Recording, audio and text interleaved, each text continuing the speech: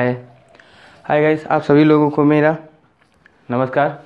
मैं आज आप लोगों के सामने बहुत दिन बाद वीडियो लाया हूँ, क्योंकि कटाई बलवाई हो रही थी, जिसकी वजह से मैं काफ़ी व्यस्त था। तो अब मैं अगली, यानी कि अब उससे आगे टॉपिक शुरू करते हैं। यानी अगली वीडियो में मैं आप लोगों को पार्ट फाइव में, यानी कि पाँच में मैं आप लोगों को कोशिका द्रव्य और केंद्रक द्रव्य, यानी कि न्यूक्लियोप्लाज्म एंड साइटोप्लाज्म के बारे में बताया था। तो आज हम उसके आगे की शुरू करते हैं साइटोप्लाज्म के आगे। ठीक, यानी कि पहले। तो यानी कि अब यहाँ पे जो कोशिका द्रव्य होता है, पहले आप लोग ये बताइए कि जो आगे की वीडियो थे, जो इतने भी पब्लिश किए गए, वो आप लोगों को अच्छा लगा कि नहीं? आप लोग कमेंट के ज़रिए मुझे बताइएगा। और ये भी कैसे लगेगा वीडियो आप लोग बताइएगा, जो जहाँ पे आप लोगों को नहीं समझ में आता है, आप लोग कमेंट के माध्यम से बताने की कोशिश करिए, क्योंकि आप लोग जब बताएँगे तो तभी हमें समझ में आएगा कि इसमें कौन सी कमियाँ आ रही है कौन सी कमियाँ नहीं आ रही हैं। ठीक? तो आप लोग बताने की कृपा करिए। ठीक? अब आगे, उसके बाद, अब यहाँ पे कोशिका द्रव्य यानी कि कोशिका द्रव्य जो होती है, जो चीज़, अब कोशिका द्रव्य को टोटल तीन भागों में बांटा गया है। कितने भागों में? तीन भागों में। ठीक, यहाँ पे समझते रहिएगा। तो ये जो कोशिका द्रव होता है, इसको कितने भागों में? तीन भागों में बांटा जाता है। तो पहला है इसमें, ठीक, यहाँ पे देखिए, कोशिका द्रव्य। अब कितने भागों में? तीन भाग में बांटा गया है।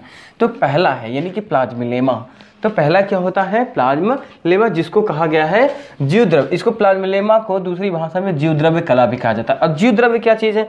जीवद्रव्य आप लोग जानते ही हो कि जब कोशिका द्रव्य और केंद्रक द्रव्य जब दोनों आपस में मिलते हैं तो जीवद्रव्य बनता है। तब क्या बनता है? जीव द्रव्य बनता है। अब कला कला मतलब होता है मेम्ब्रेन की झिल्ली। जीव द्रव्य की जीवित झिल्ली होती है, उसी को जीव द्रव्य कला कहा गया है। और ये क्या होता है? ये चारों तरफ़ से पाया जाता है घेरा बनाता है, जो कोशिका द्रव्य नहीं होती, कोशिका द्रव्य के चारों तरफ़ घेर बना लेता है। और उसके बाद आती है टोनोप्लास्ट, यानी कि रसधानी कला। ये दूसरा वाला है। पहला क्या हो गया? प्लाज्मा और दूसरा क्या है? कि टोनोप्लास्ट। अब इसको दूसरी भाषा में रसधानी कला कहा गया है। अब ये रसधानी कला जो रसधानी होती है, यानी कि वैकुल्स होती है, उसके चारों तरफ़ जो एक कला बनाती है, एक घेरा बनाती है, उसी को कहा गया रसधानी कला, यानी कि मेम्ब्रेन, इसको वैकुलर्स मेम्ब्रेन बोला जाता है इंग्लिश में। ठीक, अब इसमें रसधान में क्या होता है, इसके अंदर जितने भी वाटर होते हैं या फिर अपशिष्ट पदार्थ होते हैं, उसमें जाके इब्जॉर्ब होते हैं। यानी कि रसधानी कला के अंदर उसकी घेरा होता रहता। है तो ये हो गया रसधानी कला की बात। ठीक, अब उसके बाद आती है तीसरा हिस्सा। अब ये तीसरा क्या है? जीव द्रव्य ठीक? किसका? जीव द्रव्य और उसके बाद रसधानी। जीव द्रव्य कला तथा, इसमें कह रहा जीव द्रव्य कला तथा रसधानी कला के बीच का कोशिका द्रव्य। यानी कि इन दोनों की, यानी इससे और इससे इन दोनों के प्लस माइनस, यानी प्लस कर ले इनको और इनको मिलाने पे जो बनेगा, इनको और उनको मिलाने के बाद जो जीव द्रव्य बनेगा, वो तीसरा वाला भाग है। वो क्या है? तीसरा वाला हिस्सा है। ठीक? अब उसके बाद आती है, ये क्या है? यहाँ पे आप इसको देख लेते हैं। यानी कि माइटोकांडिया लवक और लाइसोसोम। इट्स यानी कि आदि के चारों ओर ये होता है। यानी कि ये जो राजधानी कला ये जो होते हैं ना, उनकी चारों तरफ़ यानी कि स्थान जो होता है, उसको बना के रखता है। और ये जो होते हैं, ये तीसरा वाला तीसरा वाला जो होता है, वो माइटोकांडिया लवक और लाइसोसोम से इसके चारों तरफ़ एरिया में घेरा बनाए रखता है। क्या करता है? घेरा बना के रखता है। तो ये तीसरे प्रकार का हो गया। तो आज आप लोग जान ही गए कि यानी कि ये कोशिका द्रव्य क्या चीज़ है? कोशिका द्रव्य को कितने भागों में बांटा गया? तीन भागों में बांटा गया। यानी कि जीव द्रव्य कला रसधानी और उसके बाद रसधानी जीव द्रव्य कला तथा राजधानी कला के बीच के वाले भाग को तीसरा वाला भाग कहा गया है। तो अगर आप लोगों को इसके विषय में आप लोगों को और गहराई से जानना है तो आप लोग कमेंट के माध्यम से बताइए तो हम इसको और भी गहराई में आ, इसका हम वीडियो आपको बना के देंगे। लेकिन अब उसके आगे चलते हैं। यानी कि कोशिका झिल्ली। कोशिका झिल्ली झिल्ली का मतलब होता है कि एक संरचना होती है, ठीक? एक पतला महीन जैली जैसा दिखने वाला स्ट्रक्चर होती है, ठीक? वो प्रोटीन और लिपिड लिपिड और प्रोटीन से मिलकर बना हुआ, यानी लाइपो प्रोटीन से मिलकर बना हुआ होता है। तो और ये कोशिका, अब झिल्ली कह रहा है, कोशिका झिल्ली। अब ये नहीं कि देख लीजिए, मैंने सिंपल तरीके से एक कोशिका झिल्ली, अब इसके अंदर क्या होता है? डीएनए पाया जाता है यहाँ पे न्यूक्लियस और इसके अंदर बहुत से कोशिका, द्रव्य पाई जाती है। यहाँ की इसके ये नहीं कि ये वाला जो हिस्सा दिख रहा है ना, यहाँ तक ये चारों तरफ़ है। ये है कोशिका। की झिल्ली है। ये क्या है? कोशिका की झिल्ली, यानी कोशिका के चारों तरफ़ पारे संरचना को ही कोशिका झिल्ली कहा जाता है। और झिल्ली में से कोई भी चीज़ आर पार आ जा सकती है। कोई भी फिर मिनरल्स हो सकता है, वाटर्स हो सकती हैं, या भी अदर भी चीज़ें आ जा सकती हैं। लेकिन क्या होता है, यहाँ पे जो कोशिका झिल्ली होती है, वो अपना कार्य क्या करता है कि सिक्योरिटी का काम करता है। हानिकारक पदार्थों को तो अपने अंदर कतई नहीं आने देता, किसी भी हालात में नहीं आने देगा। तो ये काम इसकी होती है। तो यहाँ पे समझने, और उसके बाद ये वर्ग क्या करता है कि जो कोशिका द्रव्य होती है, कोशिका द्रव्य को बाहर जाने से रोकती है। जो कोशिका द्रव्य होती है, कोशिका द्रव को, यानी कि ये कोशिका द्रव जो नहीं है, इसको बाहर जाने से रोकती है और उसके बाद बाहरी आघातों से सुरक्षा करती है, बचाती है। ठीक, ये काम इसका और वायरस और बैक्टीरिया से लड़ने में सक्षम करती है। जो कोशिका झिल्ली होती है, वह ठीक, अब आगे चलते हैं। ठीक, अब आगे देख लेते हैं क्या है। यानी कि ये संरचना की बात कर रहा है कि वो कैसा दिखता है। यानी कि कोशिका झिल्ली जो है ना, वो कैसा दिख रहा है, उसकी बात कर रहा है। तो सैंडविच मॉडल। तो ये लोग क्या करते हैं? कोशिका संरचना, अब यहाँ पे आती है सैंडविच मॉडल अब ये नहीं कि इसमें क्या होता है, कोशिका झिल्ली के बारे में बताने के लिए। कोशिका झिल्ली के बारे में एक मत नहीं है, कई मत हैं। अब जो वैज्ञानिक लोग होते हैं, वो अपना एक मत नहीं देते, कई मत दे दिए, भाई, कोई वैज्ञानिक कह रहा ना इस तरीके होता है, कोई वैज्ञानिक कह रहा नहीं इस तरीके होता है, कोई वैज्ञानिक कहता ना इस तरीके से दिखता है। यानी उन लोगों ने अपना अपना मत। तो उसमें से जो पहले वैज्ञानिक थे तो वैज्ञानिक जेम्स, डेनियली तथा हक डाउटसन होते हैं। ठीक, वो लोग क्या देते हैं? सैंडविच मॉडल देते हैं, पहला मॉडल। तो इनको इन दोनों का जो मॉडल दिए थे, वो सैंडविच मॉडल देते हैं। क्या देते हैं? सैंडविच। अब ये सैंडविच मॉडल में क्या बताते हैं कि जो कोशिका झिल्ली होती है, सैंडविच मॉडल में ये बताते हैं कि जो कोशिका झिल्ली होती है, वो क्या होती है? कि वो तीन स्तर का बना हुआ होता है। इन लोगों के कहने के मुताबिक ये होती है कि जो कोशिका झिल्ली होती है, वो कितने?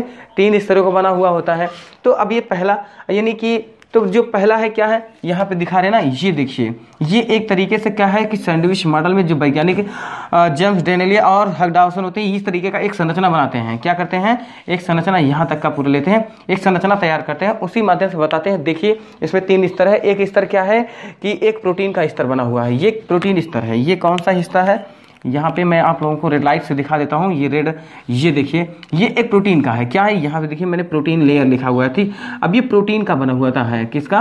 प्रोटीन लेकिन ये वाला जो मॉडल होता है सैंडविच मॉडल होती है ना जेम्स डेनली और तथा हक डाउटन जो देते हैं इस वाले मत को, इसको सन उन्नीस सौ पैंतीस ईस्वी में देते हैं।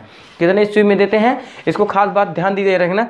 कि कभी एग्ज़ाम में पूछ भी लेता है कि सैंडविच मॉडल किसने प्रस्तुत किया तो जेम डेने तथा हक डाउसन देते हैं।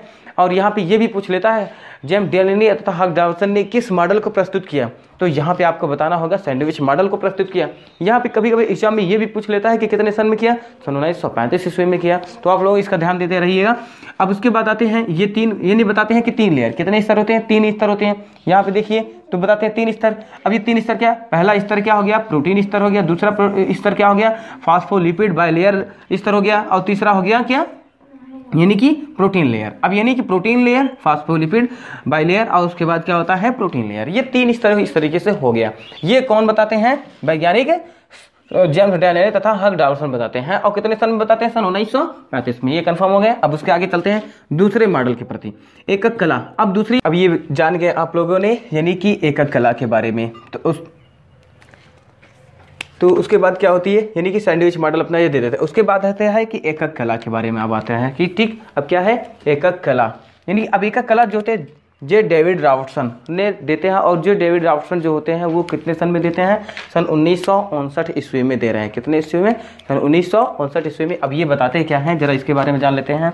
ये कहते क्या है कि जो कोशिका झिल्ली है, वो कितना, यानी कि पचहत्तर एंगेस्ट्राम मोटी है। कितना एंगेस्ट्राम मोटी है? पचहत्तर एंगेस्ट्राम मोटी है। ठीक? अब ये पचहत्तर एंगेस्ट्राम किस तरीके से मोटी होती है? अब यहाँ पे जरा देख लेते हैं। ये बताते हैं कि जो ऊपर वाला हिस्सा होता है, ये क्या? ऊपर वाला हिस्सा, यानी कि प्रोटीन हिस्सा। ठीक? अब ये प्रोटीन हिस्सा यहाँ पे जरा देखिएगा। ये प्रोटीन, यानी कि ये चार स्तरों में बताते हैं कि प्रोटीन तो प्रोटीन क्या होती है? बीस एंगस्ट्राम मोटा। कितना मोटा? बीस एंगस्ट्राम मोटा है। उसके बाद आती है फास्फोलिपिड। अब ये जो फास्फोलिपिड की बनी हुई स्तर होती है, वो पैंतीस होती है। कितना होती है? पैंतीस, यानी कि थर्टी फाइव अब यानी कि अब ये पैंतीस एंगस्ट्राम यहाँ से लेकर क्या अब ये क्या फास्फोलिपिड। यहाँ पे क्या है? फास्फोलिपिड। फिर ये नीचे वाला हिस्सा आता है कि ये फास्फोलिपिड। फिर यहाँ पे आती है बात किसकी? फास्फोलिपिड की। फिर इसके बाद आती है प्रोटीन और ये आती है बात प्रोटीन की बात आती है। तो यानी कुल मिला कि ये कह लिया जाए protein, phospholipid phospholipid protein. Protein, phospholipid phospholipid protein. तो इस तरीके का ये जो होते हैं मॉडल, एक कला की मॉडल जो देते हैं, जे डेविड और राफ्टसन देते हैं, यानी उन्नीस सौ उनसठ में।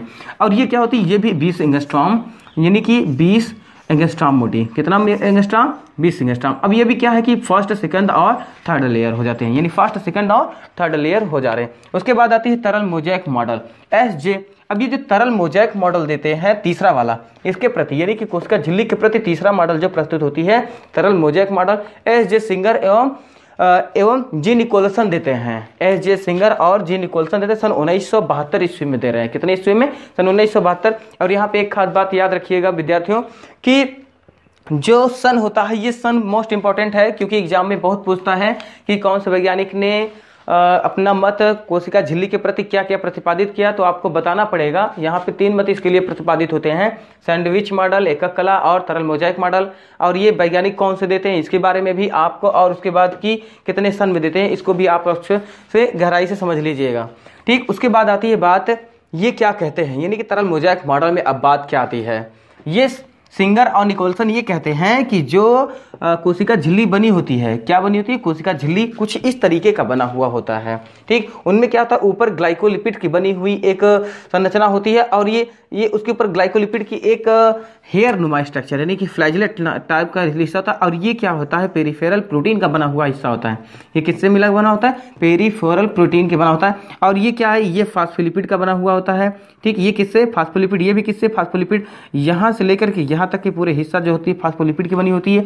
और ये क्या है? प्रोटीन प्रोटीन ग्लोब्यूट है। और उसके बाद यहाँ से लेकर यहाँ तक फास्फोलिपिड अब ये जरा देखिएगा फास्फोलिपिड बाई लेयर बाई मतलब ये बाई जो है, ये बाई मतलब होता है दो, और लेयर मतलब होता है परत। लेयर मतलब होता है परत। ठीक? अब यानी कि दो परत। ऊपर एक परत हो गया, नीचे, यानी कि एक यहाँ हो गया, दूसरा नीचे, यानी कि बाई।